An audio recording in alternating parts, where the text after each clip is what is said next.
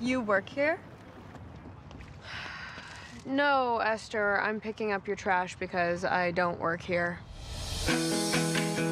Dad, don't forget you have a dermatologist appointment today. Also, can you deposit mom's disability check? Growing up, I was told my parents were special.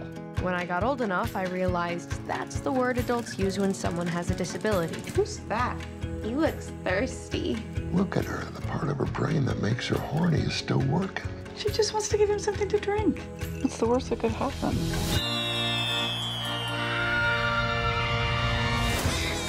I don't think they can take care of a child. What choice do we have? My mother named me after her favorite cartoon character. Hi, Bambi. Now you know what Bea is short for. But hey, at least we were happy. I know Bea's childhood was somewhat non-traditional. I don't want to do this anymore. You said it would be fun, and it's not fun. You gotta learn how to drive. I'm 10. But that hasn't stopped her from enjoying it. While everyone was busy worrying about my future, Bea, I'm still waiting on those college applications. oh, I know, I was just trying to balance work, school, and caring for my parents. Is that why you never want me to come over? No. It's okay. Everyone's embarrassed by the parents.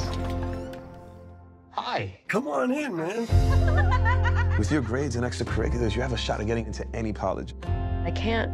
You can. No, I mean, I can't leave.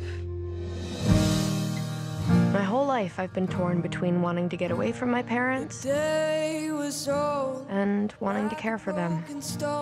Maybe because you do everything for them, you've convinced yourself that they're helpless. Spent a very long time worrying about other people. I think it's time to focus on you for a while. We are a family. But one of these days, you're gonna move out, get married. That's what kids are supposed to do. Whole new world with an unknown future. Shoot for the stars, you'll hit the roof. It's kind of a messed up saying.